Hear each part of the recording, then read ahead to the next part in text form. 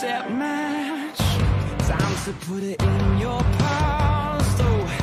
Feel the way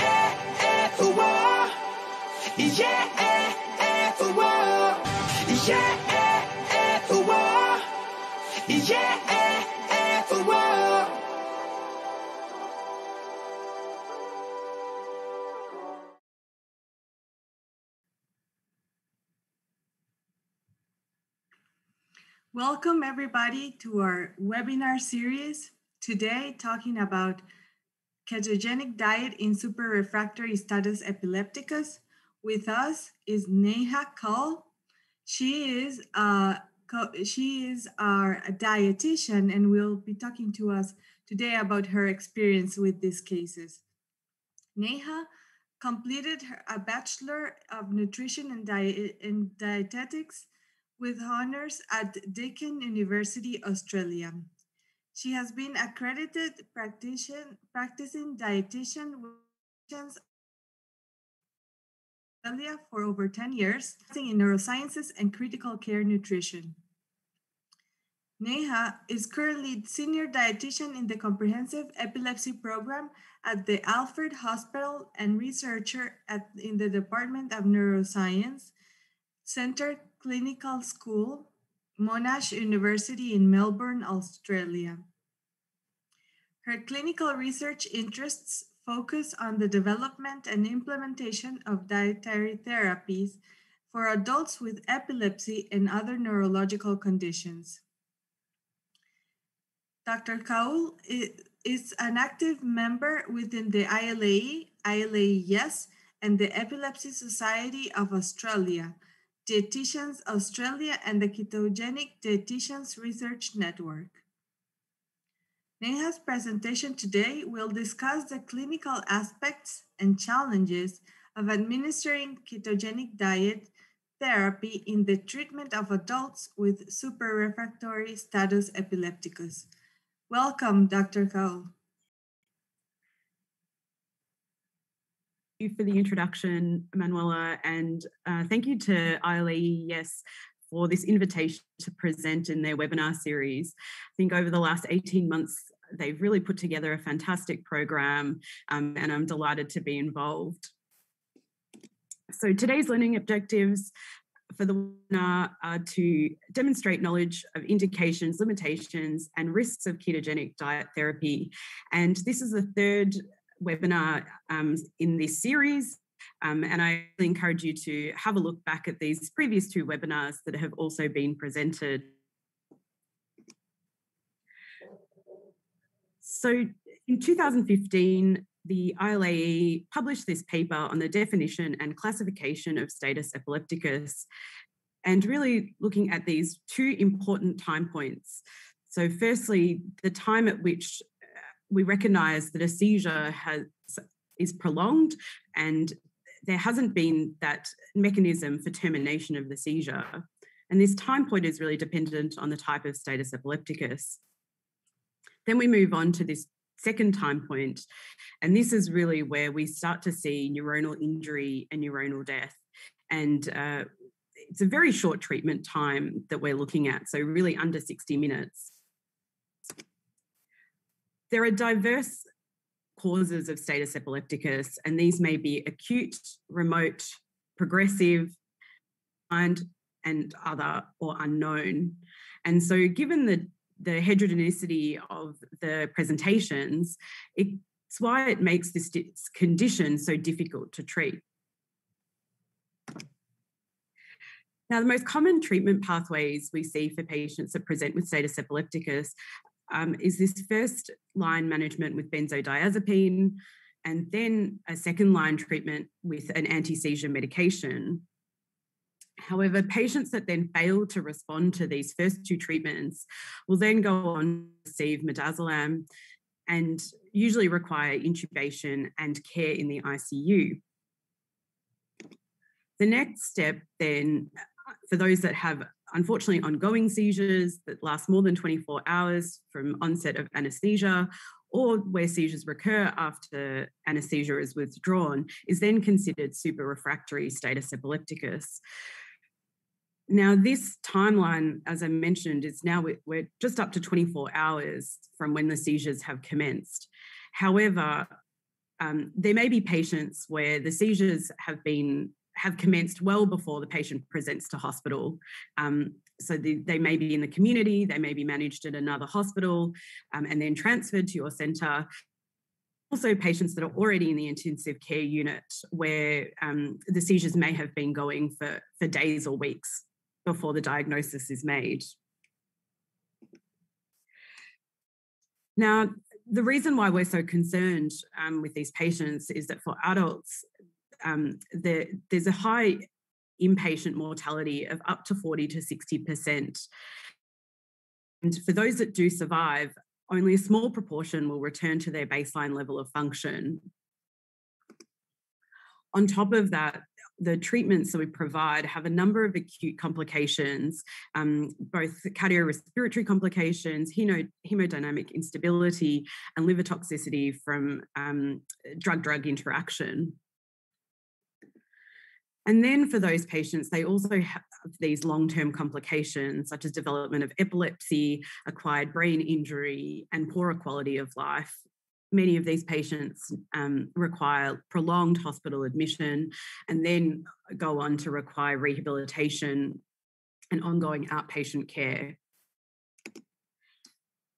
But unfortunately, there still is a lack of high quality evidence to guide treatment in these patients, with most treatments um, based on clinical experience and expertise or um, retrospective case series or small um, prospective case series. So there are a number of treatment options available. Now there are more than 20 anti seizure medications, a number of anesthesia agents that can may consider surgery or a vagus nerve stimulator. And then also a whole host of other treatments that are still emerging, um, such as targeted uh, temperature therapy, um, magnesium, immunotherapy, um, ECT, and ketogenic diet is one of the treatments. Um, so what is ketogenic diet it's a high fat very low carbohydrate adequate protein diet um, and looking at these figures, we look at our sort of standard diet. Um, in contrast, ketogenic diet has very different proportion of macronutrients. So 90% of calories are derived from fat, 7% from protein, and just 3% from carbohydrate. With classical ketogenic diet, it's usually prescribed as a fixed ratio. So you may hear it described four to one or three to one or two to one. And these are describing um, grams of fat and on the right, um, protein plus carbohydrate. And um, for outpatients, most food and fluid will be provided in these set ratios. Um, in general, ketogenic diet in the context of epilepsy is used in early treatment of patients diagnosed with glucose transporter 1 or pyruvate dehydrogenase deficiency syndromes, but also as an adjunct treatment for those with drug resistant epilepsy not amenable to surgery. And although traditionally used in pediatrics, now we're seeing you know a huge increase in the use in, in the adult population as well.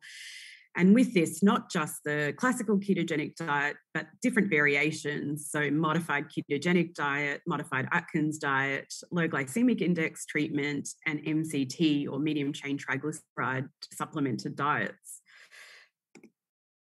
And looking at efficacy in outpatients, approximately half the patients that try the diet will see their seizures reduced by half about a third of patients will have over 90% reduction and 10 to 15% become seizure free. How does the diet work? Well, there's still not been found one um, specific mechanism responsible for the anticonvulsant effect of the diet. And it's likely a combination of factors um, induced by the ketotic state that underlie the mechanism. But uh, some of the um, mechanisms that have been have been shown, um, firstly, looking at increased ATP production within the neurons, switching from carbohydrate metabolism or glucose metabolism to ketones. And also, this idea of anaplerosis or the refilling of the TCA cycle metabolites um, induced by a ketogenic diet. The other thing to consider is the ketones themselves um, may reduce uh, neural excitability by um, reducing the pH within the brain. Also, other mechanisms such as just the increase in fatty acid oxidation. Sorry. We just had the lights turn off. um, we have these uh, in fatty acid oxidation and the anti-inflammatory effects of the diet. Also hormonal changes. So we have reduced blood glucose levels and um, insul- circulating insulin levels, but also changes in the fluctuation of glucose and insulin levels. And then finally, more recently, we've been seeing um, the changes um, associated with gut microbiota that the diet induces. So, as I mentioned, it's probably not just one mechanism at play, but a whole host of these changes associated with metabolism from ketogenic diet therapy. Now, when we are considering someone for ketogenic diet, both in the ICU setting and uh, in outpatients, we need to, um, there are a few contraindications. So the first one, and this is a, a major one about status epilepticus treatment, is concurrent use with propofol.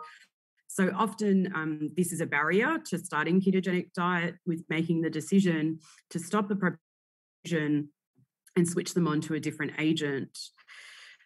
The mechanism um, is thought to be both a combination of um, increase in fatty acid oxidation that causes um, propofol infusion syndrome when propofol and ketogenic currently.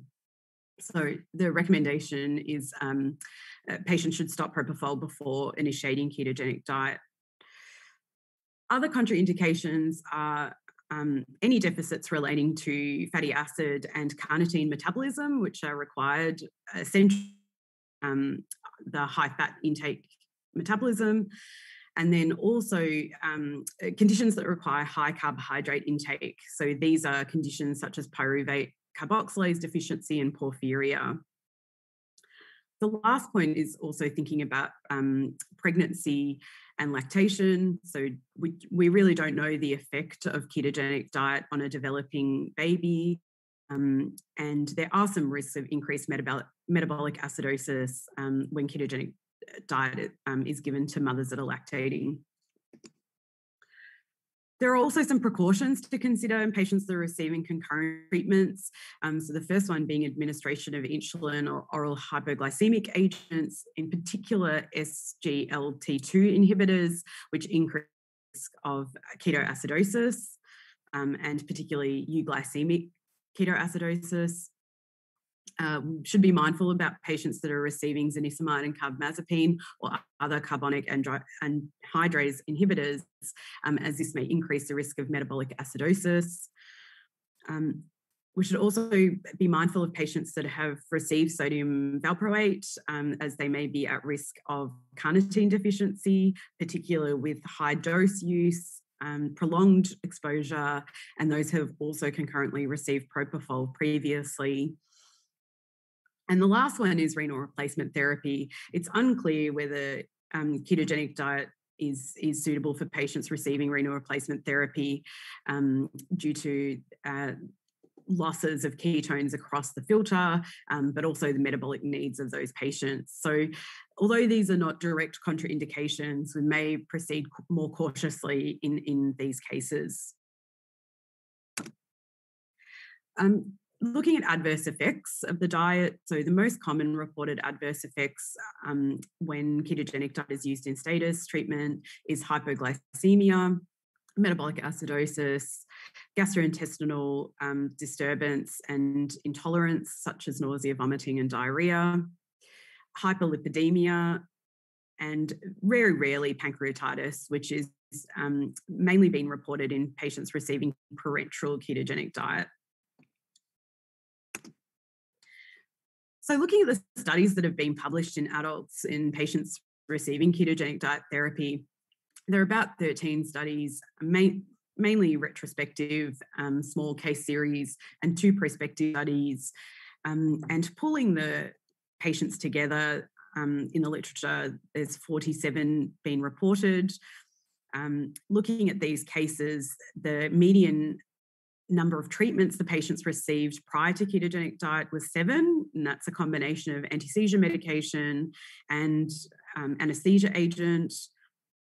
And the median number of days before um, ketogenic diet was initiated was 15, and there was a huge range in where diet was commenced anywhere between zero and 56 days. For um, 87% or in 41 of the cases, status epilepticus resolved. And um, the mean median days to resolution was about six and a half days, but there were patients that um, improved much earlier.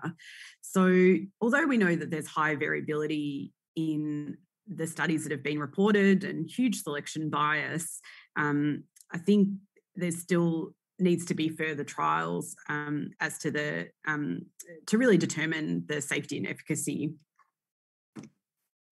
So when's the right time to start diet mm, um, in the context of status epilepticus? And I think this is um, a, a really difficult to determine um, given the lack of literature.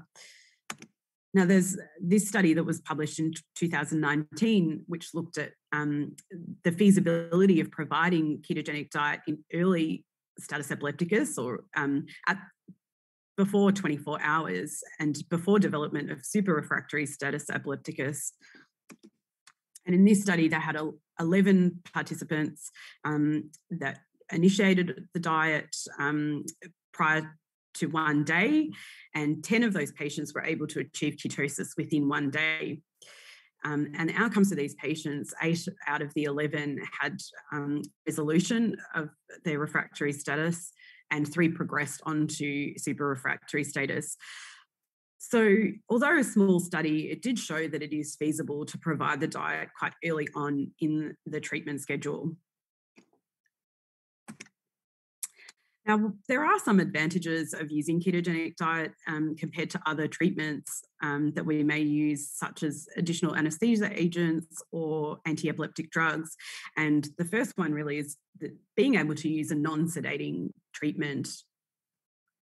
Um, there are a low number of drug diet interactions or serious drug diet interactions apart from propofol. And if we're considering what happens to the brain during these recurrent seizures, the ketogenic diet may actually address that metabolic crisis that's occurring in that epileptogenic zone. Also, thinking about those anti inflammatory effects. So, in those cases where um, the underlying uh, status may be as a result of a um, inflammatory condition or an autoimmune condition, then you know may consider diet much earlier in those patients. And there's this, been some small cases in pediatric studies where um, there's a, the, the diet itself may be neuroprotective, and particularly, in, as I mentioned earlier, the patients may suffer these long term consequences um, with their cognition. Um, that really early diet initiation may help this.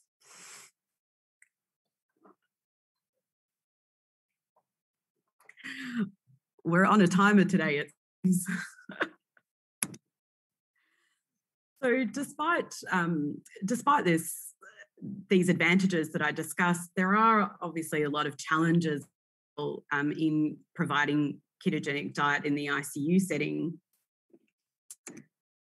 So the first thing we think about is we have a lot of um, uh, things that we give to the patient, a lot of treatments, so things like fluids, infusions, we have medication, sedation, and of course we're providing nutrition. And all of these we need to consider when we're providing ketogenic diet therapy. On the other side, we have um, all the outputs, so urine and GIT losses. We may be, um, the patients may be getting plasma exchange or renal replacement therapy. And then in the middle, we need to balance all of this out with their fluid balance, hemodynamic stability, and then optimizing both blood glucose and ketone levels. So it's at all of these points that we really need to consider how we're going to administer the diet effectively. So, just talking a little bit about general nutrition in the ICU. Um, and we know that patients that are admitted to the ICU are at high risk of malnutrition, and patients half a kilo to a kilo per day of lean muscle mass. And for a high proportion of patients, um, particularly prolonged ICU admission, will develop ICU acquired weakness. And this may last years. And for some patients, they may not make a complete recovery. Now, one of the challenges in providing nutrition in the ICU is that on average, patients only receive 60 to 70% of the prescribed nutrition during their ICU admission. So, when you're using ketogenic diet as a therapy, however, the patient's actually not receiving all the therapy you're trying to provide, this can be a significant barrier in the effectiveness. And the reasons for this, and just thinking about um, patients that are in the ICU with status, these are really attributed to feeding interruptions. So the patients may have to undergo airway procedure, um, they may need to go to radiology for scans, they may need um, internal procedures in the ICU. And then also with high dose sedation, we know that patients are at risk of feeding intolerance, such as um, gastroparesis and um, ileus. So this further delays or impacts on the delivery of ICU. The other thing to consider is our standard feed is quite different to what we're prescribing when using ketogenic diet. And you can see the carbohydrate um, content is almost inverse. Um, so, and, and the ratio is almost inverse as well. So we are providing quite a different therapy to our standard ICU care.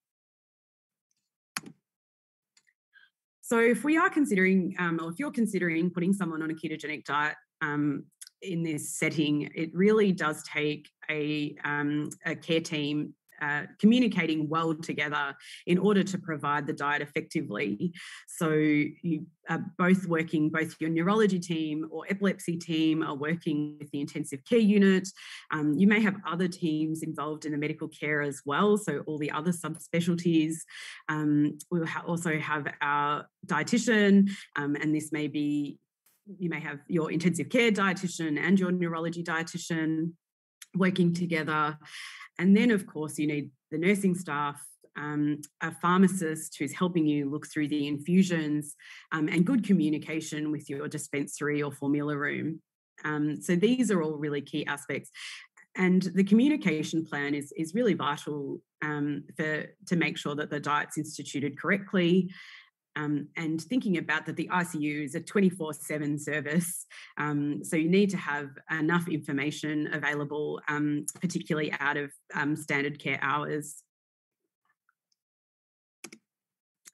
The next few slides, I'm really going to step through the specific nutrition prescription um, when, to consider when we're using ketogenic diet in the ICU. So the first part is thinking about overall energy goals. So gold standard determining energy requirements in the ICU are using measured energy expenditure through indirect calorimetry. So if you have that available um, and the patient's suitable, then um, using measured energy expenditure. Otherwise, you may have to use um, an alternative estimation method. So 20 to um, 25 to 35 calories per kilo, using an actual or adjusted body weight, when considering energy prescription, we also need to consider the patient's underlying condition and which phase of illness are they in. So they're in that very hyperacute phase, are they in back into the recovery phase, which may determine their calorie prescription. Um, and we also need to balance the um, overfeeding and underfeeding. So, when um, there is a risk with overfeeding um, that is associated with poorer ICU outcomes, and it can interfere with ketosis as well. On the flip side, however, underfeeding also means that you can't generate ketones effectively and may put the patient at risk of malnutrition. So, can be a hard thing to balance. Looking at nutrition prescription, then looking at protein next. Um, so when prescribing protein, have, do have to consider that protein itself can be gluconeogenic and therefore inhibit ketosis. And I showed you that calculation earlier with the fat um, on the left and protein plus carbohydrate on the right. Um, for the ratio, once you're giving more protein, you are reducing the ketogenic ratio. So when we're commencing patients on ketogenic diet, we may commence them um, at one gram per kilo and then increase them up um, as they establish ketosis to their um, goal protein intake. And there are some conditions in ICU where we would consider two to 2.5 grams per kilo protein requirements, which means that that four to one ratio is going to be unachievable. Um, the next part is thinking about carbohydrate allowance, um, and usually carbohydrate provides 3 to 5% of total caloric intake. However, given that um, a lot of carbohydrate is present in a number of medications and infusions, you may not need to specifically prescribe carbohydrate from the diet, um, from the diet prescription itself, but need to do this cautiously and really closely monitor blood sugars to make sure the patients um, aren't experiencing hypoglycemia.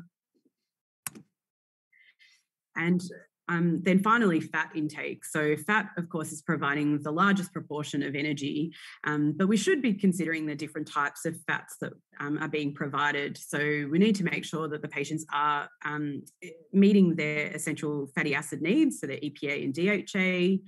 Um, and you may consider giving patients um, a greater proportion of omega 3 fatty acids, both for um, anti inflammatory benefits, but also to um, reduce the risk of hyperlipidemia.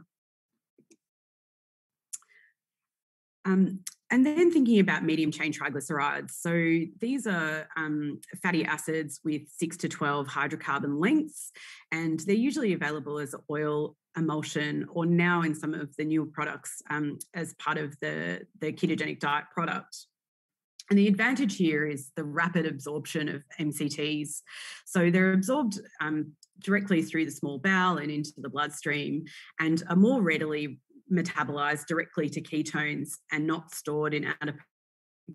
So it can really help boost ketosis but, um, and uh, quite rapidly when you introduce um, um, medium chain triglyceride fats. Separately, there have been some small animal studies that have shown that the MCTs themselves have um, their own anticonvulsant properties aside from when used in ketogenic diet. Um, so you may have this um, advantage of also being able to provide an extra anticonvulsant um, medication. Uh, there is a maximum tolerated dose, however, um, and often high MCT intake is associated with diarrhea um, and malabsorption. So this needs to be monitored quite closely. Um, and this can be often resolved with um, smaller, more frequent dosing. So usually the maximum tolerated dose is 30% of total calorie intake. So let's just work through an example. Um, I wanted to show so a 60 year old man that is in the ICU with a post traumatic brain injury, is then diagnosed with super refractory status epilepticus and sedated and mechanically ventilated. So I used um, ratio of 25 calories per kilo um, with an estimated intake of um, 1750 calories per day. So, firstly, using that ideal ratio four to one, um, this the nutrition prescription comes out as 175 grams of fat, 31 grams of protein, and 13 grams of carbohydrate. However, this is well below the recommended daily intake of protein for adults, which is um, 0.8 grams per kilo. So I think you really have to consider whether this is the right prescription um, for, for adults particularly. However, you might start someone on this ratio and then move them move them on to increase the protein intake to meet their requirements. So the prescription may change um, uh, whilst the patient's on on the ketogenic diet therapy. So, just working through the rest of the calculations, um, looking at providing 1 to 1.5 grams per kilo protein, that 3% carbohydrate, and about 80% fat.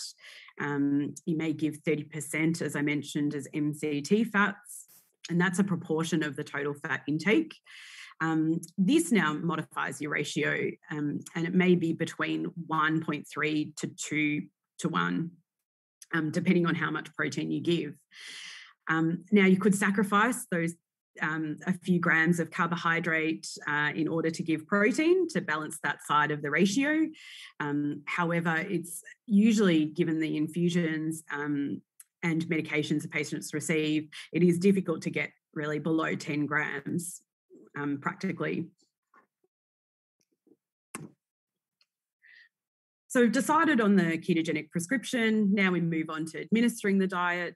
And now we're looking at the route. So, in most cases, these patients will be able to receive tube feeding um, enterally into the gastrointestinal tract. Um, and depending on where you are, um, you may be able to access a pre mixed or a ready to hang feed. Um, but in a lot of cases, you do use, need to use a modular feed where you're providing the individual components so that you're meeting your set ratio.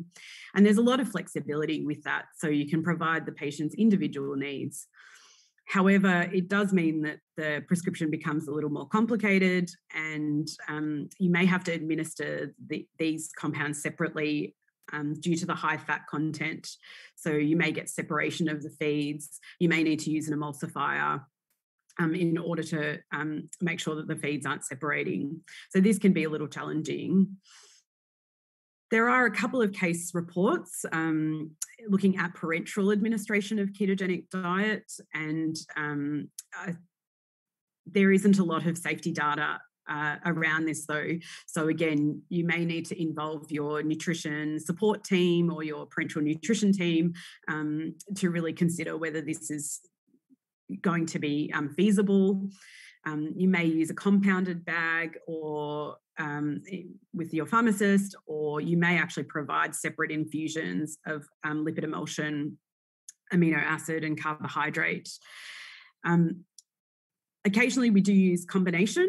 So, in patients that may have feeding intolerance or fasting, um, or uh, they're having fat malabsorption, you may use parenteral lipid um, in order to um, sustain ketosis during those times where enteral nutrition is suspended.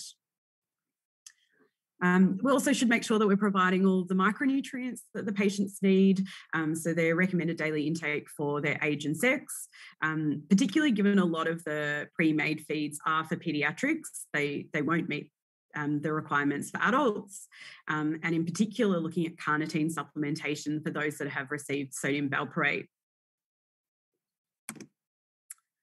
Um, so the next part is initiated diet is thinking about the monitoring. Um, so we need to make sure that the patients are um, monitoring. Uh, sorry, that the patients are tolerating the formula and that they're being delivered the amount that you have prescribed. Um, we'll also have regular glucose monitoring. Um, so in our unit, we set the lower limit for blood sugars at four millimole per litre, but this may be lower in other institutions and we have an abbreviated hypoglycemia management pathway. Um, so we, where we treat with just five grams of inc- incremental glucose. Uh, we also have regular blood ketone monitoring. We prefer to use blood ketones as they're more accurate um, compared to urine ketones, but um, it will depend on what you have available. Um, we also, as part of our standard ICU care, um, patients have their um, electrolytes, renal and liver function monitored daily, and specifically looking at metabolic acidosis. So we need to um, carefully monitor that too. Um, we will check their blood lipid profile at baseline and twice weekly thereafter. Um, if they're on parenteral lipid, we may do this more regularly, so on alternative days. And in some cases, we may also um, monitor ammonia depending on the patient's clinical situation.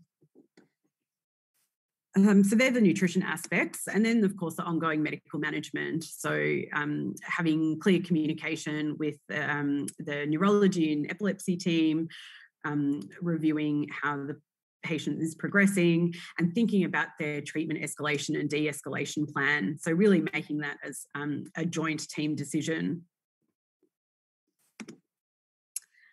So, one of the things um, that commonly happens is inadequate ketosis. And um, I think this is a common question that comes up where um, the patients are on the diet for 48 hours and they're still in um, low ketosis. And uh, um, these are just some tips to, to think through when we when this happens. Um, most commonly, when we go back and review the patient, it is incidental or unavoidable carbohydrate um, administration. Um, and the thing really here to consider is that sugar-free doesn't necessarily mean carbohydrate-free. So we need to really carefully look through the medications um, and even brand brand variation is really important because um, there can be huge variation between the same product.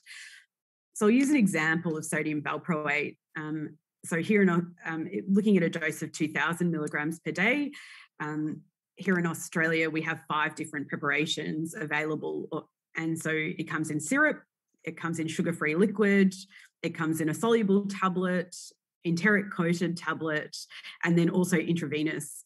So we can see that there's a huge variation in the carbohydrate content. Um, even the sugar-free liquid is, is 6.4 grams um, when we're only probably providing the patient with 15 or 20 grams. This is a huge proportion of their daily medication uh, their daily carbohydrate allowance, and they're likely to be on multiple medications. So, this is where you and the pharmacist need to sit down and really go through um, uh, making sure that you are um, identifying the sources of carbohydrate so the thing to check is really looking at all syrups and liquids. So often these are going to have some type of glucose, sucrose, um, or sugar alcohol, um, and avoiding them where possible. So using the tablet form. Um, but this may not be practical. So in this example of sodium valproate, we can use the 100 milligram tablets, but we're going to have to give the patient 20 tablets a day. It's just not feasible. Um, so having a discussion and looking at the nutrition prescription again to see whether you can fit in um, the six grams from the liquid um, or if suitable to give them the IV replacement. Um, the other thing to think about is um, also steroid use. So occasionally the patients will need steroids, um, and this is going to inhibit ketosis um, as well. And it just may be unavoidable. So I think thinking back to the slide where I discussed the mechanisms of ketogenic diet, although um, ketosis is, is, is what we're trying to um, achieve, given that the diet acts in so many different ways, and even what we see in outpatients is patients um, do improve in very low level ketosis, there may still be an advantage to continue on diet on ketogenic diet therapy despite low ketones but I think every effort should be made to try and get them into sustained ketosis.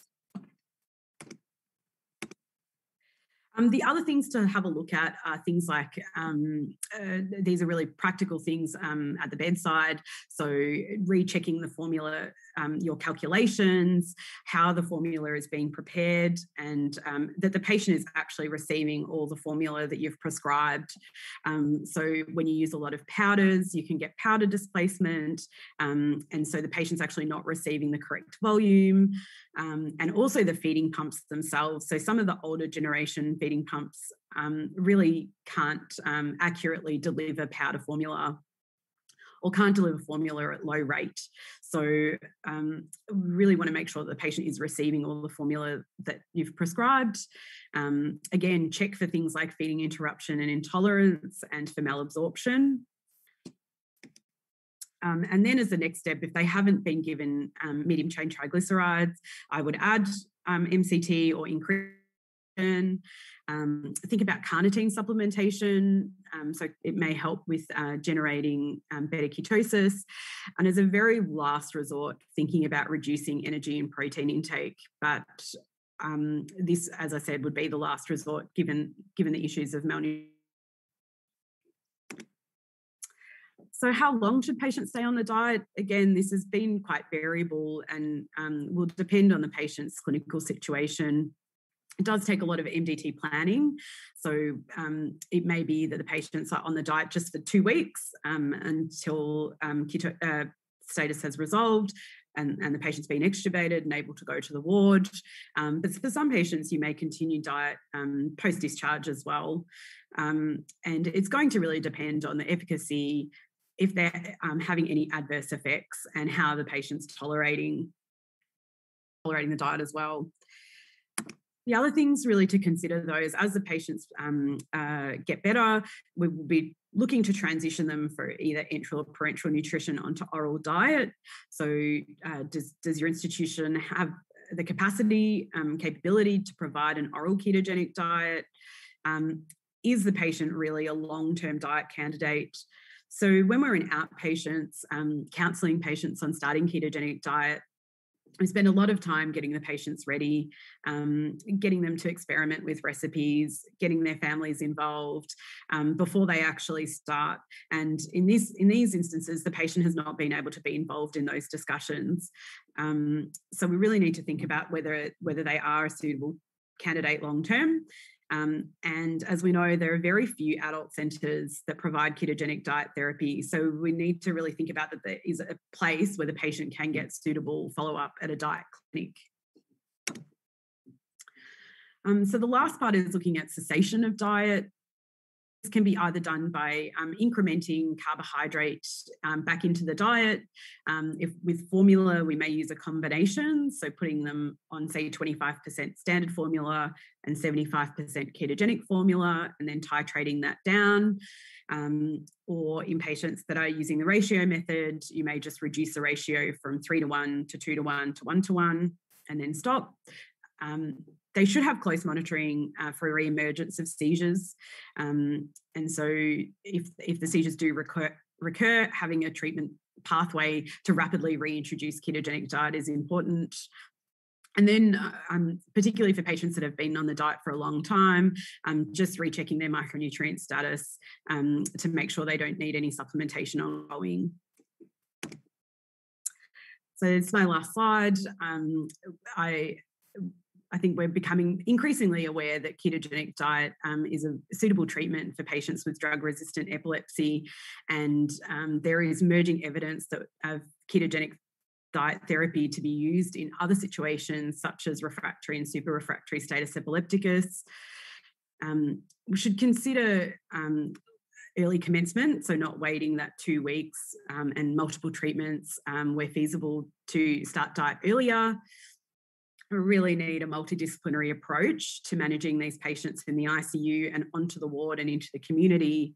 Um, and we look forward to having more trials um, with controlled studies looking at the optimal timing and duration of ketogenic diet therapy and status. And finally, I just want to acknowledge my team here at the Alfred um, and Monash University. Um, we work very closely with um, a number of departments, uh, both in the hospital um, uh, and at the university. And uh, this is just a picture of our, our institution um, with our hospital there on the right and our research institution there at the back. So thank you for um, your attention. Thank you, Neha, for this wonderful talk. It was very thorough, and especially that you were very practical in what aspects are important when treating and dealing with patients with ketogenic diet in the ICU. So it was very, very, very good. Uh, we have some questions from the audience. Uh, the first question, and you mentioned a little bit about it, is um, regarding uh, carnitine. So, is there any recommendation uh, of adding carnitine uh, prophylactically uh, with you when there's a concomitant use with valproic acid? So the dose range for carnitine uh, is quite wide, so anywhere between 10 milligrams per kilo to up to 50 milligrams per kilo. Um, and in adults with a maximum of three grams per day. So we in our protocol, we do prophylactically supplement all patients with carnitine um, because we think that the the um, risk of deficiency really outweighs any risk of providing the supplements. Perfect. We have another question: Is if you can give us any tips uh, regarding the avoidance of excessive thickness uh, and therefore uh, infusion like issues that can come up when you're dealing with a ketogenic diet in the ICU? Yeah, so this is a really common issue where the formula is hard to administer um, uh, because it is so high in fat content and delivered at a low volume. Um, really, it is either looking at um, you can try and water the feeds down, but this can create different problems with the feeds separating. Um, I know some institutions do use um, emulsifiers, so they'll add emulsifier um, with the water to try and uh, uh, um, make the consistency thinner. Um, and then the other aspect, and again, it's a little um, the evidence is a little unclear whether um, this is bolus feeding in the ICU is suitable, but you could consider um, transitioning the patient to, to bolus feeding where you're either using the pump to bolus um, the formula a couple of times a day or using a syringe. Um, but I am a little bit concerned about uh, patients not tolerating, so having high gastric residual volume or reflux and vomiting. Uh, and so this is this is difficult to manage, but it can help with um, making sure that the patients are receiving the formula as prescribed. Uh, perfect. Why do you think clinicians uh, take so long, like in this study that you showed us at the beginning, where they take so long to start ketogenic diet in status epilepticus? There's probably a few reasons and um, I probably can't speak for the neurologists and the and the intensivists. Um, we know that these patients are complex to manage. Um, they have an underlying condition to treat, and then the seizures on top of that. Um, so it, it's hard to know um, exactly what the barriers are um, into making that decision. It, it may just be experience. So certainly the first patient we um, used ketogenic diet for uh, it was back in 2015, and now we've used it um, increasingly. And so I guess the confidence of the team, um, both the ICU team and our nutrition team and the neurologists, um, they've all now had a bit more experience as time has gone on. So the first couple are always the most difficult. Um, and then as you develop your protocols um, and just familiarity, it, it, may mean that you have an earlier shift. Um, I think also, you know, we, we can't discount that the level of evidence is low. Uh, so I think that's something we do have to consider when you're looking at other treatments um, that, um, that, may have more efficacy. Um, uh, or I, I, think that's also one thing to consider. Um, so there's probably a range of reasons. Um, but uh, I think it's important to have the discussions early uh, with the team, and and once you decide that you're going to start, that you really start um, uh, start aggressively. So, you know, winding all the infusions, changing all the infusions over, changing the medications, and really rapidly introducing the diet. So, not taking too long to introduce it either. This takes us to our next question. How long do you have to wait to start keto diet when you were when you had a patient on propofol? Yeah, so this does vary from institution to institution. The um, in a lot of the American guidelines and European guidelines that I've seen, um, they do suggest that you wait 24 hours before um, introducing ketogenic diet uh, after exposure to propofol. Um, our team are um, may consider using the uh, using ketogenic diet a little bit earlier, uh, just because we know that propofol has such a short half life. So, given that the half life is only three minutes, um, um, given the half life is so short, um, the risk is probably quite low. But I think, given that the, the guidelines do say 24 hours, um, and, and that can be a huge reason for delay or reluctance to start ketogenic diet in the first place. So I think there needs to be a few more studies looking at this. Perfect. Um, there's another question regarding the catabolism of proteins like the patients in the icu are in a state of hypercatabolism. And um, we know that ketogenic diet is low or does, like it's very it has to be very low on protein otherwise it would would not work. So how do you manage that? Yeah so i think one thing to consider is that um, that lower protein intake is re- is really only in the beginning and i think we should limit the time that they are it is low in protein. So i think adjusting the diet over time is important so that we are managing those other aspects of icu care. Um, i don't think the interference from from my experience this is only talking from my experience um, i don't think that protein at least in adults um, interferes with the diet as much as we we probably think. Um, and so it's really about monitoring. So if the patient's in good ketosis, um, they're tolerating the diet well, they've got good nutrition provision, um, then really adding adding that protein back in and monitoring is the key. Perfect. Thank you. Well, we have um, no more questions from the audience. We would like to thank again uh, Neha Kaul for this amazing talk and for being with us today. Uh, and we hope to see everyone soon in our new in our next webinar.